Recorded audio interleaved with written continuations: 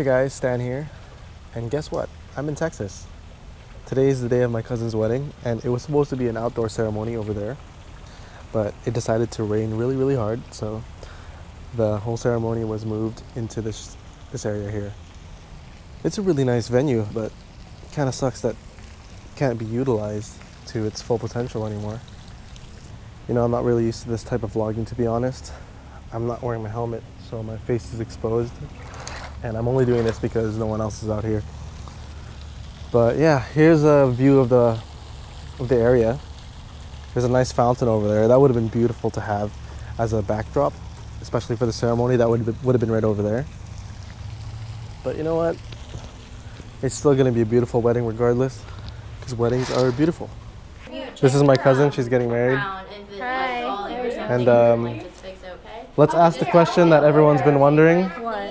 What? Are you excited for the honeymoon? Of course I am. So where's your honeymoon going to be?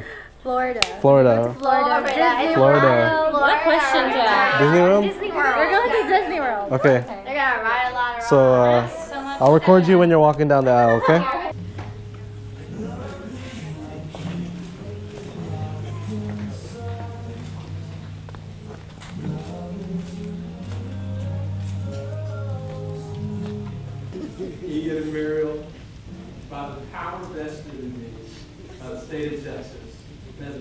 Of the gospel, I now pronounce you husband and wife.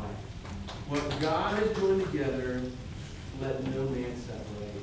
Ian, you may kiss your bride.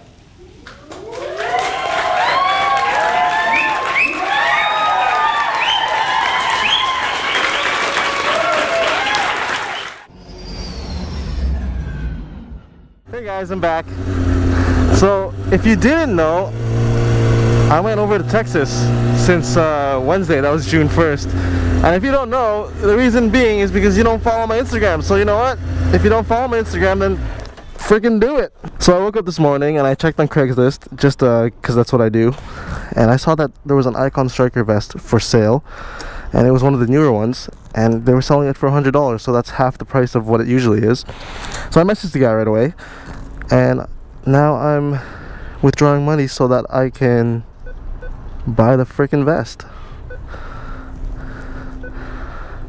That's a good deal, $100 and like we look at the weather right now, it's beautiful, but it's way way too hot. So, and there's like a camera right here. I wonder if it can hear me talking. I wonder how dangerous it would be to be to go to one of these drive-through ATMs at nighttime on a bike. Probably get jacked up for sure. Alright, so let me talk about my Texas trip. It was pretty fun. I got to see all my cousins again. It was like a little family reunion. And I was there for my cousin's wedding, so I got to see my cousin get married, and she's the same age as me. Not like, not that it makes me feel bad that she's getting married, because I'm not, but it's whatever, you know? so anyways, Texas, uh, sorry if you're from Texas and you're watching this, but I'm gonna go on a little rant. First off, the humidity there is just way way too much for me it's just it feels like i don't know what it is. It feels like a third world country sometimes. And the weather was just terrible. It was raining and it was it was really warm but it was raining hard. And i didn't like that. I was picturing riding there. I was like no how do people ride here? The roads suck. Crazy bumpy and all the lines all the painted lines are all faded so you don't know where the hell you are. And I, I drove around using a rental car but yeah I did not like it and whenever I would be passenger and someone else was driving I would just get a headache instantly in the car because of all the all the bumps on the road. There's so many potholes. I also saw a few riders there and they were not wearing helmets. That's crazy. So is that is that a thing in Texas that you don't have to wear a helmet? That's not required? That's absolutely absurd. Like do people not care about their lives over there? Especially with the roads. It's like I feel like there was really no city to see around there. It was just, um, wow, total squids. Yeah, there's like no city to see. It's just all highway. I mean, the highways look really cool. Like you have one highway over here, and then you have another highway going up here, and then there's another highway in the back going like that, and like another one. It looked really, really cool. But yeah, I don't know. I just can't picture myself ever living there, and I don't think I ever want to go back there, to be honest. Vancouver is beautiful. I love it here, and the roads are just so much easier to ride on. The I feel like everything was not really as advanced in Texas as it is here. Like I don't know, all the all the street lights were being hung by wires and it was just dangling all over the place. I feel like it just wasn't as organized. And again, maybe I'm just getting used to where I'm living. That could be it, right? I got really homesick after the first few days. I just I guess it's not really homesick. Is there a word for this? But like bike sick. I, I wanted to ride my freaking bike.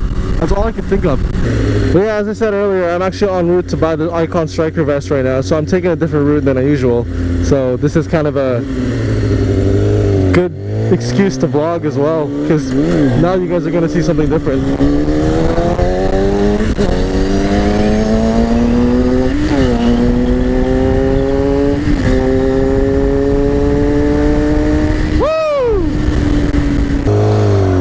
Ah, let's just park illegally in the shade for now.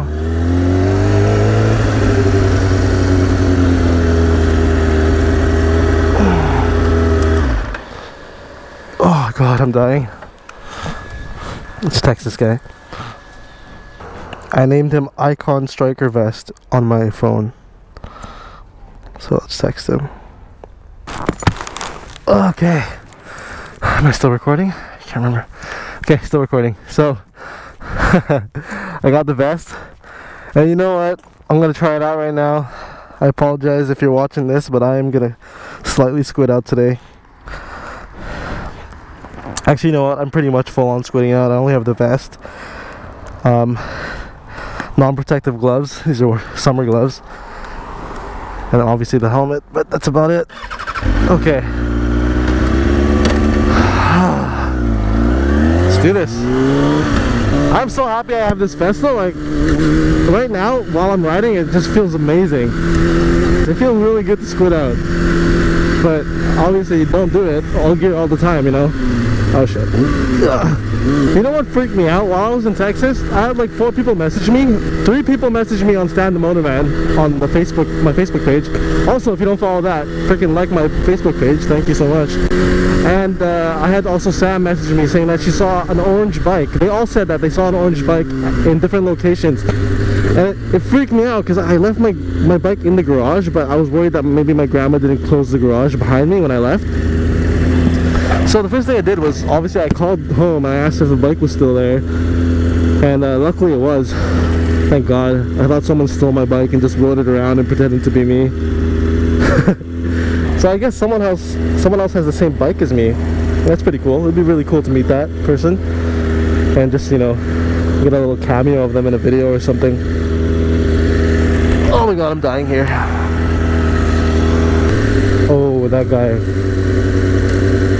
probably got busted for being on his phone. Sometimes cops just stand on the side of the road just watching people to see if they get on their phones. And then they'll say, okay, turn over here and I'll meet you there. And they take your license too, that way you can't run away. That sucks. Look at that. Yeah. Ooh, GTR. Nice. I like that one. Yeah, I don't know if that if my GoPro caught it, but there was some cop just looking at me, just for hiding in the bushes. That's the good part about being on a motorcycle though, is because you can't reach for your freaking phone. You're not tempted to to look at it.